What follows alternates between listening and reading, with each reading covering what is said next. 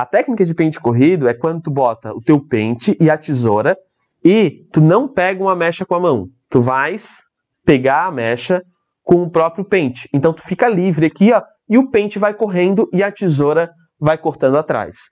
Essa técnica, ela é basicamente posicionamento.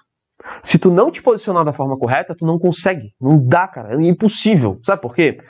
Tu vai fazer o pente corrido. Então a galera vai tentar fazer o pente corrido e sente muita dificuldade na hora de fazer. Porque a ação, ela tá acontecendo bem na tua frente. E na hora que a ação tá acontecendo bem na frente, olha meu braço.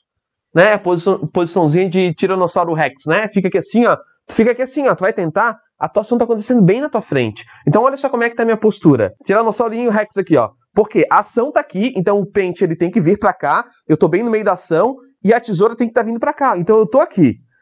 Essa posição, ela é errada. E aí, às vezes, tu fica assim, caramba, eu não estou conseguindo coordenar aqui o meu pente e minha tesoura. Mas tu tá todo errado. Passinho pro lado.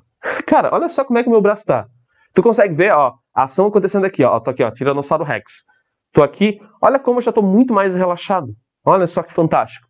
Né? Então, só um passo para o lado, ó, passo para o lado. No pente corrido, a ação não acontece na tua frente, ela acontece levemente para o lado esquerdo, para quem é destro. Se por acaso tu for canhoto, é para o lado direito.